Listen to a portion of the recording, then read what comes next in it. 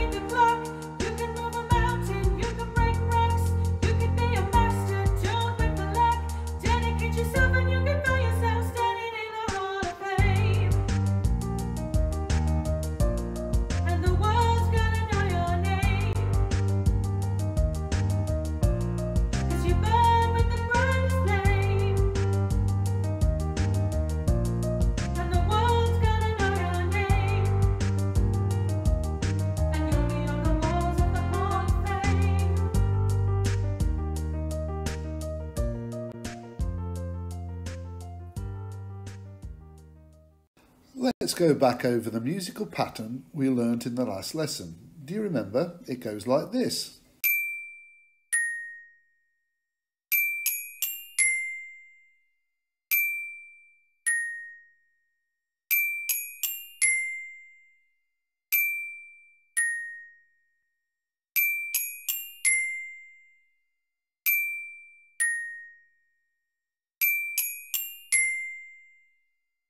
Now you have a go. One, two, three, four, two, two, three, four, three, two, three. Get ready?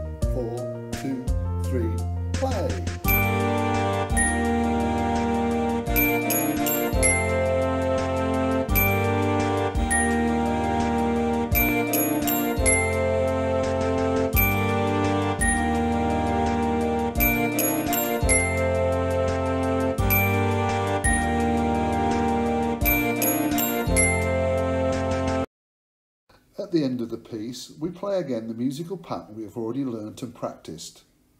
This time though, we add an extra bar to the end, which goes like this. This is what it sounds and looks like when added to the rest of this section.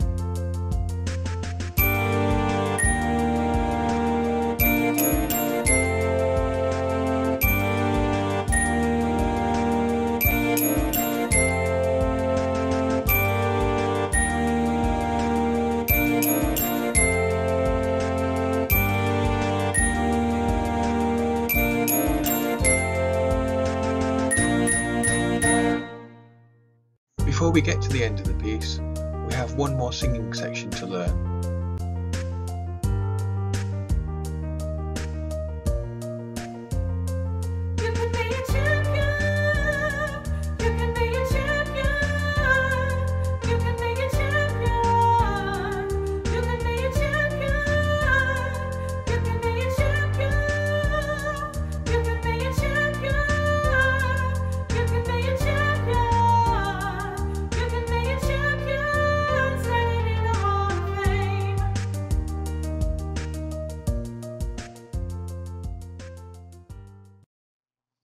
It's time for our performance now. You will hear an introduction of four bars of music. You will hear the same piece of music each time before we play or sing throughout the piece.